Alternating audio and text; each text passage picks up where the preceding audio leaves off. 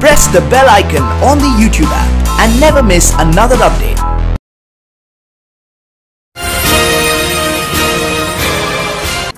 अलवर ज़िले की रामगढ़ विधानसभा सीट पर होने वाले चुनाव में राजनीतिक दलों ने अपने अपने स्तर पर जातिगत नजरे से मतदाताओं को रिझाने का प्रयास शुरू कर दिया है इसी संदर्भ में भाजपा के हिंदूवादी छवि के विधायक मदन दिलावर भी अलवर पहुँचे इस मौके पर उन्होंने कांग्रेस पार्टी को आतंकवादी समर्थित पार्टी करार दिया। उन्होंने कहा कि अब जनता समझ चुकी है और न राहुल गांधी के मंदिर जाने के दिखावे पर आने वाली है और न ही अब किसान और बेरोजगार युवा कांग्रेस के छलावे में आएँगे। इस दौरान दिलावर ने प्रियंका वाड्रा के राजनीति में आने से लेकर विभिन्न मुद्दों पर कांग्रेस पर जमकर आरोप लगाए। देखो, ये क्षेत्र है जो बहुत प्रताड़ित होते हैं यहाँ के लोग। और जब जब कांग्रेस का शासन आता है तब तक यहाँ अत्याचार, अनाचार, बलात्कार घटनाएँ लव जिहाद लड़कियों को लेकर भागना, ये बहुत हो रहा है।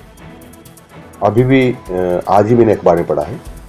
एक शेड्यूल कास्ट की पंद्रह वर्षीय कन्या के साथ सामूहिक बलात्कार किया गया और उसमें मुस्लिम युवक शामिल है। ये बहुत चिंता का विषय है हमारे लिए और सरकार इसको बहुत लाइटली ले रही है। ये सरकार तो चोर, लुटेरे, बदमाशों, गुंडे, आतंकवादी इनके साथ खड़ी होने वाली है। इसलिए पूरा बचाव करती है। वहीं कांग्रेस पर जमकर आरोप लगाते हुए उन्होंने कहा कि कांग्रेस ने याकूब मेनन की फांसी हो या अफजल की फांसी, उसे कांग्रेस हमेशा गलत बताते रही है। उन्होंने कहा कि वंदे मातरम कहना नारा भी उनको गलत लगता है और भारत माता की जय सही देश के टुकड़े होंगे, हज़ार के टुकड़ों का नारा लगाने वालों के समर्थन में उनके आदर्श बनकर कांग्रेसी खड़े हो जाते हैं। कांग्रेस ने हमेशा महिलाओं का अपमान किया है। इनकी भारत माता में निष्ठा नज़र नहीं आती। उनका कहना तो ये भी रहता है कि जो याकूब मेनन को फांसी हुई वो गलत हुई। अफजल गुरु को फांसी वो गलत हुई। वो ये भी कहते हैं कि भारत मेरी रना का वंदे मातरम कहना भाई नारा भी गलत है। और भारत माता की जय बोलना भी गलत है। और वो इस बात को अच्छा मानते कि देश के टुकड़े होंगे हज़ार। और ऐसा कहने वाले नारा लगाने वाले उनके आदर्श हो जाते उनके साथ खड़े जाते। इसलिए ऐसे लोगों के बारे में कुछ नहीं कहना कि देश को तोड़ने वाली ताकतें, समाज के साथ अन्याचार, अनाचार, महिलाओं का अपमान करने वाले लोगों का, खड़े होने वाले लोग हैं। इसलिए मैं समझता हूँ ऐसे लोगों को रामगढ़ विधानसभा क्षेत्र की जनता वोट नहीं देगी। अभी आपने देखा होगा कि एक, जो जिसने, जिसके बारे में चर्चा है कि गौभक्तों ने उसको पीट पीट कर मार डाला था जो मुस्लिम युवक था नाम मैं भूल गया हूँ। पहलू खान पहलू खान। और आज ही मैंने अखबार में पढ़ा है उसका बेटा गोतस्कर में पकड़ा गया है। जब तो कांग्रेस ने कहा था कि गोभक्त है गोपालक है वो तो गाय की पूजा करता है। आज उसी का बेटा फिर गो तस्करी में उन्हीं की सरकार ने उन्हीं की पुलिस ने पकड़ा है। तो हम कैसे मान लें? इसका मतलब उस समय भी ये गो की हत्या करने वालों के साथ कांग्रेस खड़ी हो गई थी। उनको बचाने का प्रयास किया गया था और कांग्रेस और अन्य पार्टियों ने उनको प्रोत्साहन के रूप में कुछ राशि भी पहुँचाने का समाचार मेरे पास है।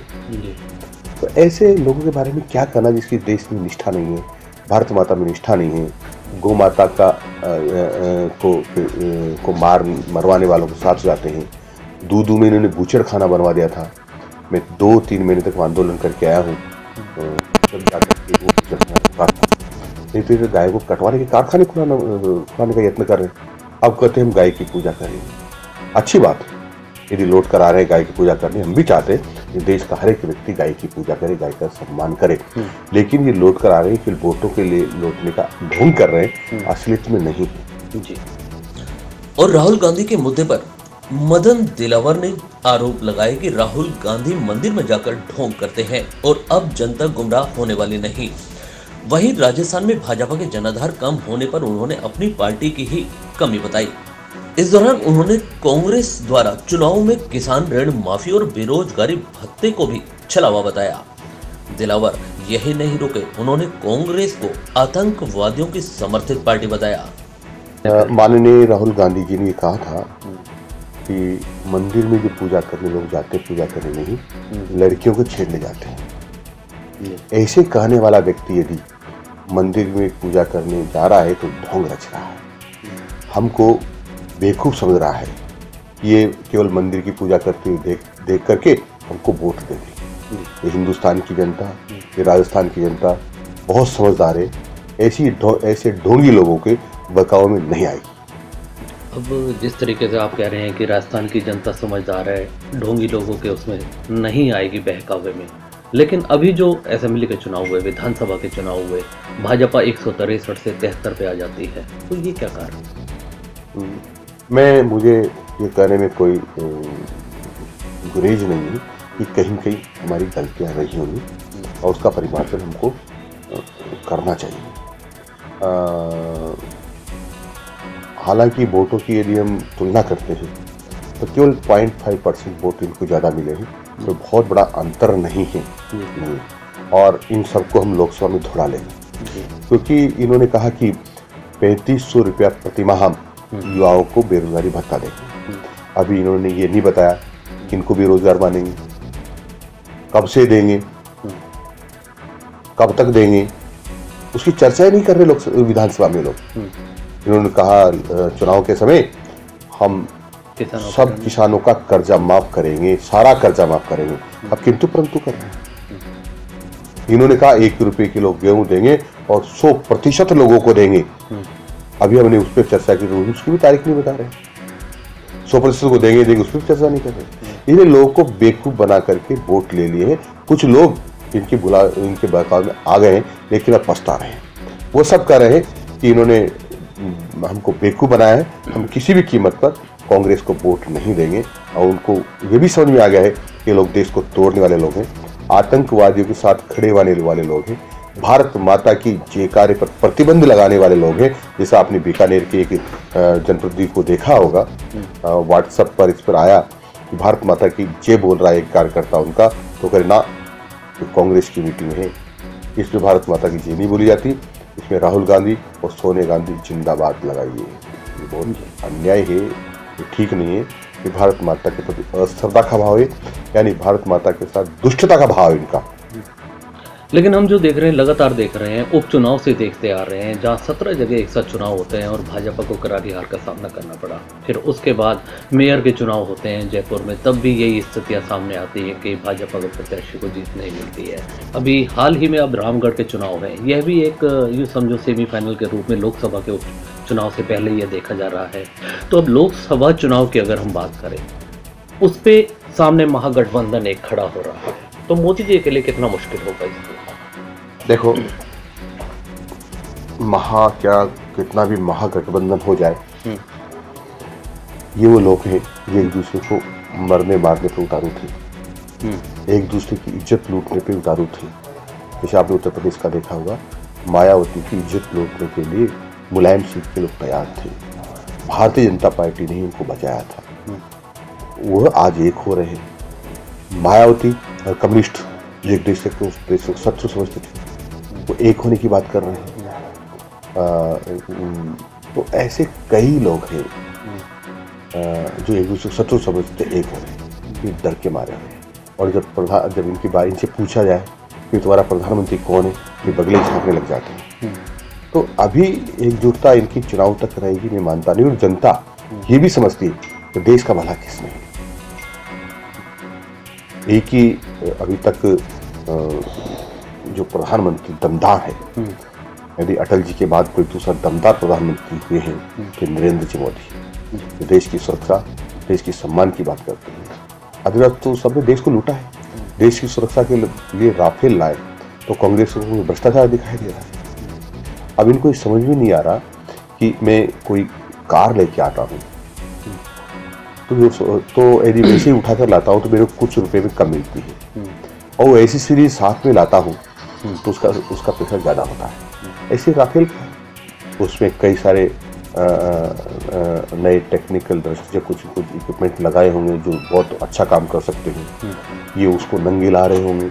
ये इसलिए बड़ा पैसा बड़ा होगा तो ये तो सुप्रीम कोर्ट ने भी स्वीकार स्वीकार कर लिया है फैसला भी दे दिया है। फिर भी बाज नहीं आ रही बात करने पर ये समझते हैं कि सो बार झूठ बोलो तो तो उसको जनता सच मान लेती है और इस फार्मूले पर ही काम करना चाहते हैं जो चलेगा नहीं। महागठबंधन पर तल्ख टिप्पणी करते हुए दिलावर बोले कि एक समय था जब मुलायम सिंह के आदमी मायावती की इज़्ज़त तक लूटने का प्रयास कर रहे थे, तब भाजपा ने ही उन्हें बचाया था। आज ये सब सत्ता के लिए एक होने चले हैं। उन्होंने मोदी को अटल जी के बाद एक सशक्त प्रधानमंत्री बताया। प्रियंका वाड्रा हर चुनाव में उतरती रही है, हर चुनाव में प्रचार किया है। अमेठी में भी प्रचार किया था, और सब जगह प्रचार किया है। लेकिन क्या रिज़ल्ट आते पूरे देश भर में वो रिज़ल्ट आते रहे वो भी वो अभी आएँगे तो ज़्यादा फ़र्क नहीं पड़ेगा। ज़्यादा फ़र्क नेगेटिव पड़ेगा। क्योंकि अब गांधी से लोग अब वाड्रा की तरफ़ कांग्रेस वाले वाड्रा की तरफ़ जाएँगे। जब अब वही वाड्रा बननी चाहिए प्रधानमंत्री बने तो कोई नहीं। नरेंद्र मोदी जी को अभी पंद्रह साल तक कोई हटा नहीं सकता है। ये एडी से चोटी का ज़ोर लगा ले। इस देश के लोग समझते हैं कि हमारा भला किसमें देश का भला किसमें है। ये अच्छी तरह समझते हैं। इस दौरान मदन दिलावर ने प्रियंका वाड्रा के कांग्रेस में चुनाव मैदान में आने से कहा कि इससे कांग्रेस को ही नुकसान होगा और अब गांधी की सरकार की बजाय वाड्रा सरकार की तरफ़ लोगों का रुझान बढ़ेगा। और उन्होंने कहा कि इसमें रॉबर्ट वाड्रा के व्यक्तिगत हित भी हो सकते हैं। अब मुझे इसकी जानकारी नहीं है लेकिन देश के हित तो हैं होंगे ही क्योंकि वो खुद फंसे हुए हैं। वो कैसे कैसे न कैसे सरकार आए तो कैसे निकला जा सकता है? हो सकता है उनका कोई न कोई लेकिन अ, इन सब लोगों की श्रद्धा इस भारत भूमि पर नहीं है। और भारत भूमि पर श्रद्धा होती। तो फिर प्रियंका गांधी क्यों नहीं कहती कि भाई बाटला हाउस में मारे गए आतंकवादियों के लिए माँ तू रात भर क्यों रो रही है? तू करवटें क्यों बदल रही है? तू आँसू क्यों टपका रही है? मैंने अखबार में पढ़ा कि बाटला हाउस में जब आतंकवादी मारे गए तो सोनिया गांधी को रात भर नींद नहीं आई रात भर रोती रही आँसू बहाती रही। तो उस माँ को जाके समझाते ना आतंकवादी मारे गए हैं देश के दुश्मन मारे गए हैं। तो ऐसा क्यों कर रही हो? लेकिन नहीं कहा। इसका मतलब उसकी सहमति है। इसलिए देश के दुश्मनों के साथ आतंकवादियों के साथ खड़ी होने वाली राहुल की तरफ़ सोनिया की तरफ़ प्रियंका गांधी प्रियंका वाड्रा भी है। Press the bell icon on the YouTube app and never miss another update.